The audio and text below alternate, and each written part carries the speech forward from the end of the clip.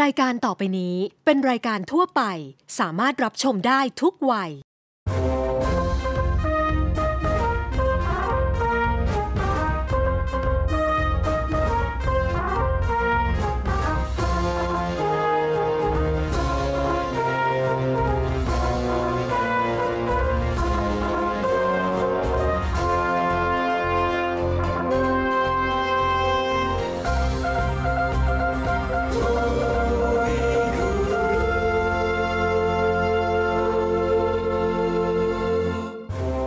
สนับสนุนโดยดีสุด .com สวัสดีครับ สวัสดีครับคุณผู้ชมครับ ขอต้อนรับท่านเข้าสู่รายการ Movie Guru รายการเพื่อคนรักหนังเหมือนเราสองคนครับชายเพราะเราสองคนนั้นจะมาช่วยคุณดูหนังเก่งขึ้นครับ เรามาเจอกันเป็นประจำทุกคืนวันเสาร์ทางช่อง GMM 25อย่างนี้นั่นเองนะครับ และเช่นเคยครับ ถ้าคุณผู้ชมอยากจะพูดคุยกับพี่เฮนรี่หรือว่าชายนะครับ หรือว่าร่วมกิจกรรมสนุกๆกับทางรายการเรา เข้ามาได้เลยนะครับที่ Facebook อย่างเป็นทางการของเรานั่นก็คือ Movie Guru TV Show ครับ และเป็นประเพณีนะครับแนะนำเว็บไซต์ที่มีสาระความบันเทิง และก็ความรู้เช่นกันครับกับดีสุด .com ครับศูนย์รวม เรื่องราวที่น่าสนใจมากนะครับ การอัพคลิปโหลดคลิปการโพสต์ความคิดเห็น การเข้าไปร่วมสึกเพื่อตอบคำถาม แล้วก็สามารถสะสมแต้มสะสมคะแนนเพื่อไปแลกของรางวัลได้เช่นกัน แล้วสามารถที่จะเก็บคำถามและคำตอบความคิดเห็นได้ในลักษณะของ private ranking report แล้วสามารถ export ออกมาเป็น private analysis report ที่พี่สามารถอีเมลให้เพื่อนๆ ในกลุ่มได้เช่นกัน ห้ามพลาดเด็ดขาดนะครับ กับการเข้าไปร่วมสนุกกับ w w w d s u d c o m ครับ มาเริ่มต้นกันในช่วง Movie Guru Focus ของเรากันเลยดีกว่านะครับ วันนี้เราจะโฟกัสไปที่ภาพยนตร์เรื่อง Tenet นั่นเองนะครับ เป็นภาพยนตร์แนวแอคชั่นฟอร์มยักษ์จากคริสโตเฟอร์โนเลนที่ทุกคนรอคอยกันอยู่นั่นเองนะครับ เป็นเรื่องราว ของการย้อนเวลานะครับ และก็โลกแห่งการจารกรรมระหว่างประเทศนั่นเองครับ ย้ำนะครับ เป็นการย้อนเวลาแต่ไม่ได้ข้ามเวลาอ่าเพราะฉะนั้นทุกอย่างเกิดขึ้นในสถานการณ์จริง ภาพยนตร์เรื่องเทเน็ตนั้นชายมีการถ่ายทำใน 7 ประเทศ แล้วเขาบอกว่าใน 7 ประเทศนี้มีส่วนที่ถักทอร้อยเรียงเป็นเนื้อหาสาระที่เกี่ยวข้องกับหนังเรื่องนี้ อย่างเช่น ถ้าเราเห็นในตัวอย่างล่าสุดมันจะมีเครื่องบิน 747 เนี่ยชนลงจอดเครื่องบิน นั่นไม่ได้เป็น CG นะเขาซื้อเครื่องบินลำหนึ่งเพื่อมาระเบิดโดยเฉพาะ แต่เอาเป็นว่าตอนนี้ไปติดตามตัวอย่างของภาพยนตร์เรื่อง Tenet กันได้แล้วนะครับ ในช่วง Movie Guru Focus ครับ ช่วง Movie Guru Focus All I have for you is a word. Tenet. It'll open the right doors, some of the wrong ones, too.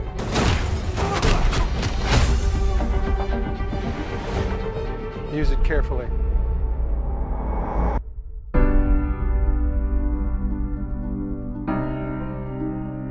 Do what I do, I need some idea of the threat we face. As I understand it, we're trying to prevent World War III. I'm not saying Armageddon here. No. Something worse. I gather you have an interest in a certain Russian national. Why don't bring me in? You really want to know? He can communicate with the future. Time travel. No. Inversion. Aim it and pull the trigger. You're not shooting the bullet, you're catching it. Whoa. Well, I've seen too much. Well, we'll try and keep up. Your duty transcends national interests. This is about survival. It Seems bold. Bold, I'm fine with. I thought you were going to say nuts. This is where our worlds collide. How would you like to die? Old. You chose the wrong profession.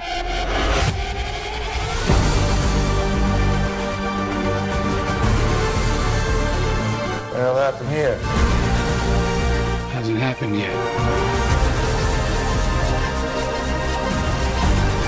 There are people in the future who need us. Who need Tenet. We need to save them here and now.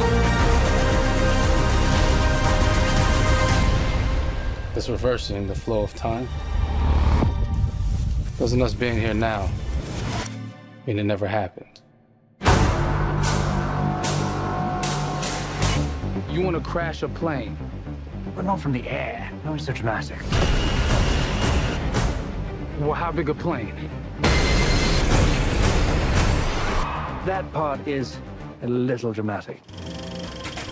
คุณผู้ชมครับชายครับเข้าสู่ตัวอย่างเรื่องที่ 2 ของช่วง Movie Crew Focus กันดีกว่า เป็นภาพยนตร์ที่มีชื่อว่า The Bridge Curse เป็นภาพยนตร์จากประเทศไต้หวัน ซึ่งเป็นผลงานของ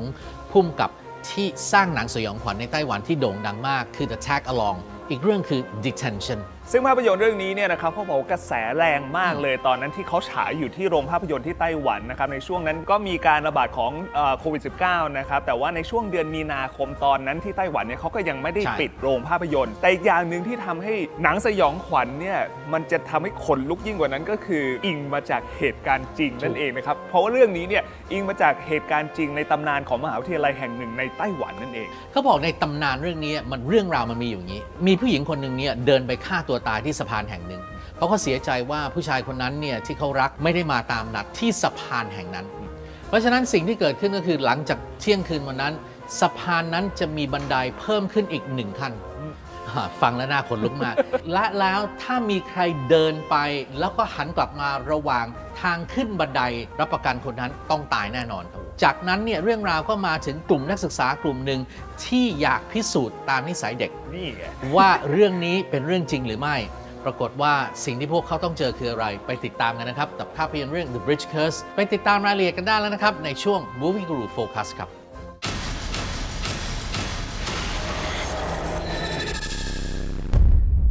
据说东湖大学的女鬼桥在午夜十二点，原本十三层的阶梯会多出一阶，这个时候千万不要回头，因为女鬼可能就在你身后。我们是不是在阶梯上回头了？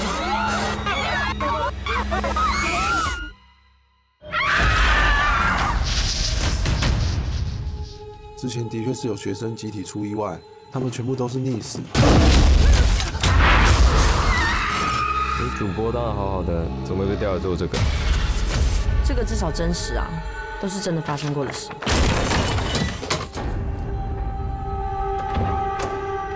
所以你觉得传说都是真的吗？什么女鬼杀人？什么传说都有真实的部分，永远不要相信事情的表面。那里好像有人，没有啊。有啊，就在，嗯，奇怪。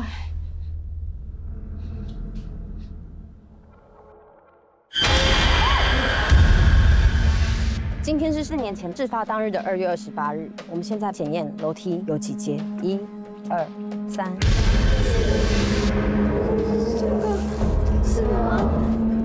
你不要闹好不好？你没有漏掉什么？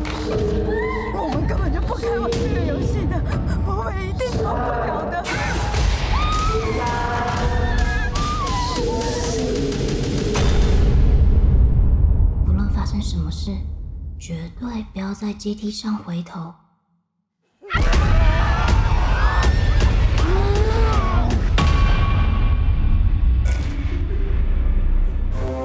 赞助由 Dsud.com。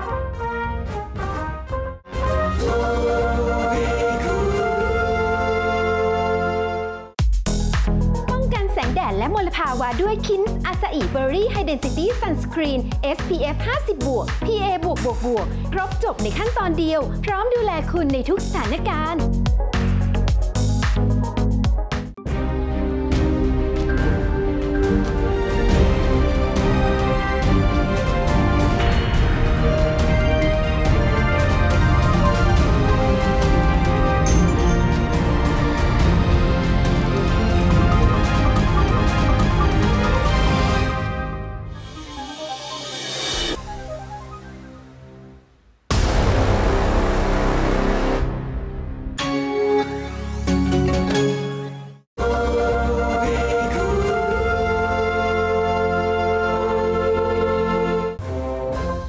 สนับสนุนโดย Santa Fe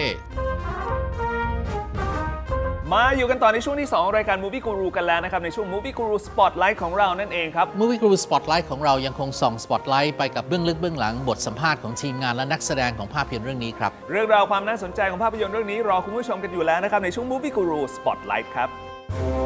ช่วง Movie Guru Spotlight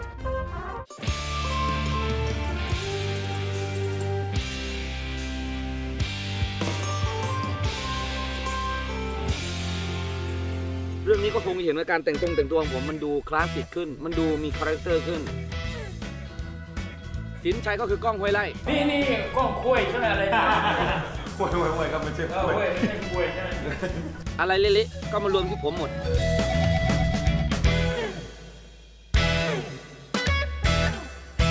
ดูเหนียวมากแต่หอมมากนะคะ เป็นยาสีฟันโคโดโมสตรอเบอรี่ของเด็กเอามาทาตัวหอมที่มีตัวมันที่มันเหนียวมากมันมันเหนียวแล้วมันแข็ง ช่วงแรกๆคือมันจะเย็นหลังๆมันเริ่มเหนอะหนักพอเนื้อหนารู้สึกว่าไม่ค่อยสบายตัวแต่ว่าผมก็ทนได้เพราะว่าพุ่มกับท่านนี้ท่านคือไอดอลของผมผมก็แปลกใจเหมือนกันว่าทำไมต้องทำกับผมอย่างเงี้ยเหมือนผมโดนรายการสารเนโชว์มาแล้วก็มาโดนแกล้งบางครั้งก็ไม่คิดว่ามันเป็นฉากในหนังจริงๆ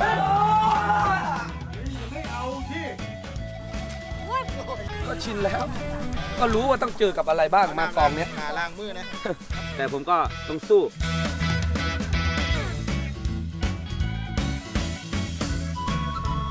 เป็นนักแสดงที่ต้องบอกเลยว่าถึงผมจะหล่อไม่มาก แต่รับรองออกมาต้องหากากแน่นอนฮะพิมเป็นผู้ชายคาแรคเตอร์ที่แบบห้าวห้าวกวนกวนๆแล้วก็เป็นคนที่มุ่งมั่น เหมือนจะกึ่งกึ่งๆหลงตัวเองนิดนึง จริงๆอะเรื่องออนซอนเดย์เราก็ได้แต่งเป็นหญิงแล้วนะแต่พอมาเรื่องนี้คือมันไม่ได้แต่งแบบแล้วยืนอยู่เฉยๆอะมันได้แต่งแบบได้ใส่โนมเป็นฉากที่ผมรู้สึกว่าอายตัวเองมากไม่ว่าจะเป็นพี่แซคชุนไพรพี่ก้องทุกคนลงทุนมาก ลงทุนกับเรื่องที่แล้วมากนะครับไม่ว่าจะเป็นทาสีทาหน้า แต่งตัวที่เราไม่เคยได้แต่งกันอะไรอย่างเงี้ยอันนี้ก็แกะสลักนะครับทำเป็นมูนวอล์กทรงผมแบบแนวเลเก้อะไรอย่างเก้ก็แตกต่างครับอยากทำคิงน้องให้ไอ้บายบังแน คือมันมันเป็นการเปลี่ยนโฉมใหม่แบบให้เรารู้สึกแปลกตาเวลาที่ไปดูพวกผมในภาพยนตร์นี่จะเห็นเลยว่าเออมันเปลี่ยนแปลงจริงๆมันไม่ได้เหมือนตัวละครต่างๆที่เราเคยเห็นมาคาแรคเตอร์ของเพชรก็เป็นผู้ชายที่เอ่อสนุกสนานนะครับ ผมร่าเริงอีกไม่กี่ปีผมก็จะงอกแล้วครับ ไม่น่ายอมให้ผมเลยครับผมการแต่งตัวนะครับก็จะแตกต่างจากภาพยนตร์เรื่องอื่น ตั้งแต่วันแรกนะครับ ผมจนจบครับผม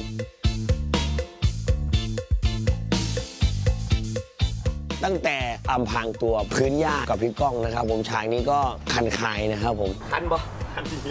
ภาษาอีสานก็เรียกว่าขั้นไข้ครับผมไม่ได้อาบน้ำเลยทั้งวันในวันนั้นครับผมเสร็จกูปลอมตัวเป็นพี่โจอี้นะครับทิปใส่เติมน้ำหน่อยครับ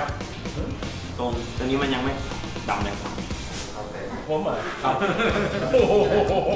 จะให้ทำถึงไหน เหมือนกันมากเลยครับโอ้โหแยกไม่ออกเลยว่าคนไหนคือโจอี้คนไหนคือเก้าอี้นะครับโอ้โหดูสิครับ นี่น้องชายผมจากแอฟริกาครับแต่คนละพ่อนะครับ ที่จริงคนละแม่ด้วย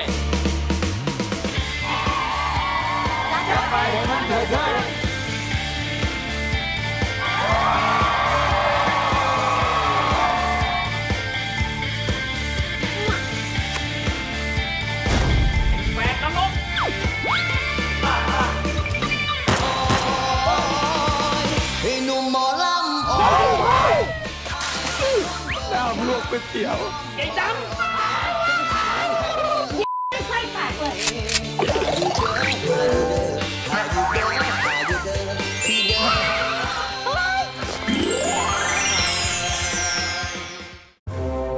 สนับสนุนโดยซานตาเฟ่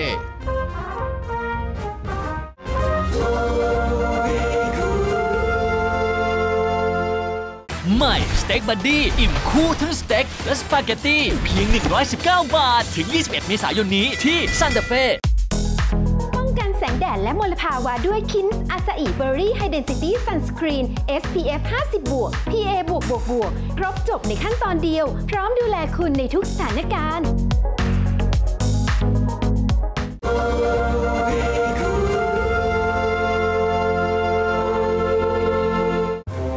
สนับสนุนโดย ผลิตภัณฑ์เลดไวท์ไดมอนด์ มาอยู่กับพี่เฮนรี่และชายกันต่อนะครับ ในช่วง Movie Guru Highlight ครับ ยังคงเข้มข้นในเรื่องของการอัปเดตข่าวสารต่างๆ ในวงการภาพยนตร์ครับ ไม่ว่าจะเป็นตัวอย่างหนังใหม่ๆ ที่ยังไม่ได้เข้าฉายเรื่องราวเด็ดๆ คลิปเด่นๆ ประจำสัปดาห์นี้เรานำมาฝากคุณผู้ชมกันอีกแล้วครับ แน่นอนครับ ช่วงนี้โควิดก็มีเรื่องราวน่าสนใจ เมื่อไม่นานมานี้ในเทศกาลภาพยนตร์เมืองคานส์ปีนี้มีการเปลี่ยนเป็น virtual Cannes Market ปกติเนี่ยคนซื้อภาพยนตร์อย่างเช่นประเทศไทยพวกสหมงคลฟิล์ม M Picture หรือใดๆเขาต้องบินไปเพื่อไป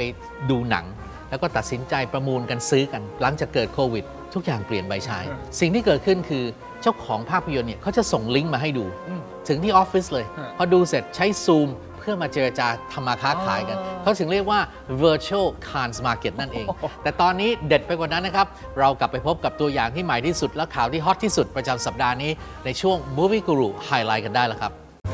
ช่วง Movie Guru Highlight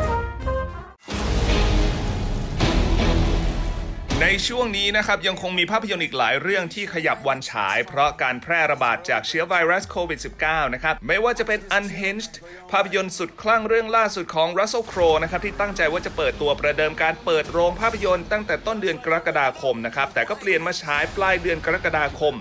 ส่วนบ้านเรานะครับน่าจะได้ชมกันประมาณต้นเดือนสิงหาคมครับ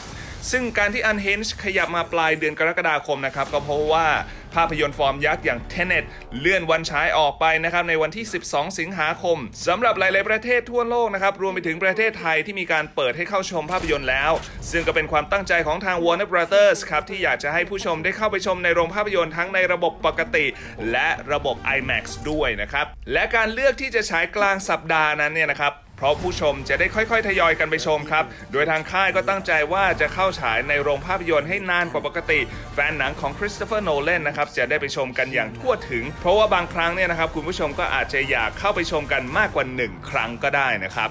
สำหรับภาพยนตร์ Live Action เรื่องมู่หลานนะครับก็ไม่ลงตัวเช่นกันนะครับ หลังจากที่ตั้งใจว่าจะฉายห่างจาก Tenet เพียงแค่ 1 สัปดาห์ ในเดือนกรกฎาคม คราวนี้นะครับก็เปลี่ยนไปฉายห่างจาก Tenet อีก 1 สัปดาห์ แต่ว่าจะมาฉายในวันที่ 21 สิงหาคมแทนนะครับ ซึ่งบ้านเราก็จะได้ชมกันในช่วงที่ใกล้เคียงกันครับ โดยทางดิสนีย์นะครับก็ยังตั้งใจว่าจะฉายในโรงภาพยนตร์ เพราะยังเชื่อมั่นถึงความตั้งใจของทีมงานทั้งเบื้องหน้าและเบื้องหลังนะครับที่ทำให้ภาพยนตร์ออกมาสวยงาม และสื่อถึงความหวังและความพยายามได้เป็นอย่างดีครับ ในช่วงที่รอฉายนี้เนี่ยนะครับผู้กำกับหญิงอย่างนิกกี้คาร์โรนะครับก็ถูกท้าบทามให้กำกับภาพยนตร์เรื่องใหม่แล้วนะครับ นั่นก็คือ Beautiful Ruins ที่จะเป็นการดัดแปลงจากนิยายขายดีของเจสวอลเตอร์โดยจะย้อนกลับไปในยุค 60 ของประเทศอิตาลีครับ ก็รอติดตามกันต่อไปนะครับ ว่าจะมีใครมาแสดงกันบ้างสำหรับการกลับมาของ Bill และ Ted นะครับในภาคที่ 3 กับ Bill and Ted Face the Music จากที่เคยวางเอาไว้ว่าจะฉายในวันที่ 21 สิงหาคม ทีแรกก็ตั้งใจว่าจะขยับขึ้นไปฉายในวันที่ 14นะครับ เพราะว่ามีภาพยนตร์หลาย ๆ เรื่องขยับกันไป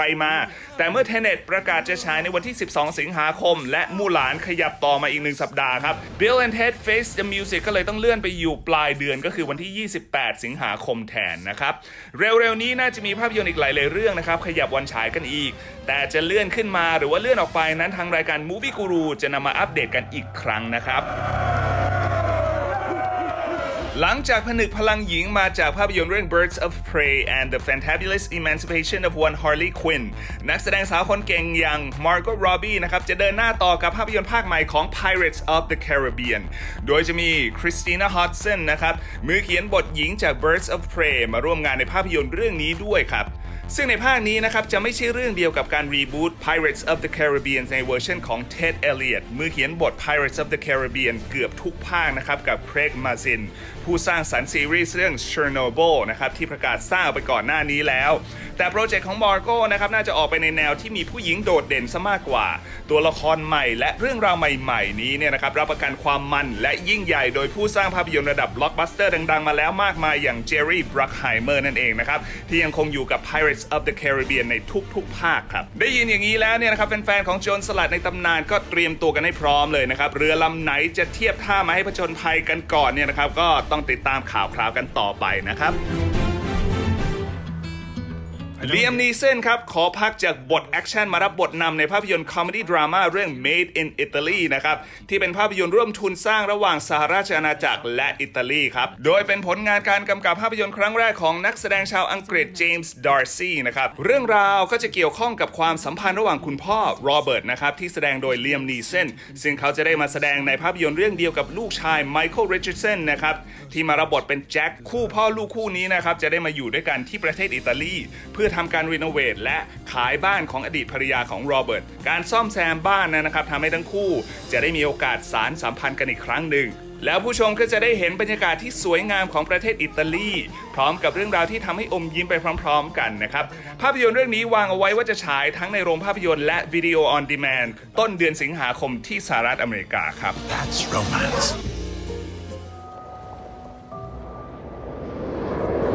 ส่วนเจอราร์ดบัตเลอร์นะครับยังคงมาในแนวหนีตายในภาพยนตร์หายนะเรื่อง Greenland ครับ โดยเป็นการกลับมาร่วมงานกันกับ Ric Roman Waugh ผู้กำกับจาก Angel Has Fallen อีกครั้งหนึ่งครับ คราวนี้เจอราร์ดนะครับมารับบทเป็นคุณพ่อที่ต้องพาครอบครัวหนีตายจากหายนะที่โลกกำลังเผชิญ จากอุกาบาตที่เข้ามาชนโลก ทุกอย่างเกิดขึ้นอย่างกระทันหันครับ ผู้คนบนโลกเผชิญกับความหวาดวิตกแตกต่างกันออกไป มีการแย่งชิงเพื่อไปให้ถึงยังที่ที่ปลอดภัยที่เรียกว่ากรีนแลนด์หายนะครั้งนี้แสดงให้เห็นถึงธาตุแท้ของมนุษย์ได้เป็นอย่างดีนะครับในเวลาที่ต้องเจอกับวิกฤตครั้งใหญ่แบบนี้นั่นเองครับ ก่อนที่บทนำจะเป็นของเจอราร์ดบัตเลอร์นะครับได้มีการวางตัวคริสเอเวนส์แล้วก็จะให้นีลบลอมแคมป์นะครับมากำกับ แต่ทั้งคู่ก็ถอนตัวไปก่อนนะครับ ก็มาลองดูกันนะครับว่าในเวอร์ชันของจ e ราร์ดบัตเลอร์จะเป็นยังไงนะครับสำหรับเรื่องกรีนแลนด์นี้เนี่ยนะครับก็วางแผนเอาไว้ว่าจะฉายในช่วงเดือนมิถุนายน แล้วก็เปลี่ยนมาเป็นกลางเดือนสิงหาคมแต่เมื่อมีการขยับภาพยนตร์หลายเรื่องมาในเดือนนี้เนี่ยนะครับก็คาดว่าทาง STX Entertainment น่าจะมีการปรับวันฉายใหม่อีกครั้งนะครับ Hang on, Nathan. shelter immediately. Seek shelter immediately.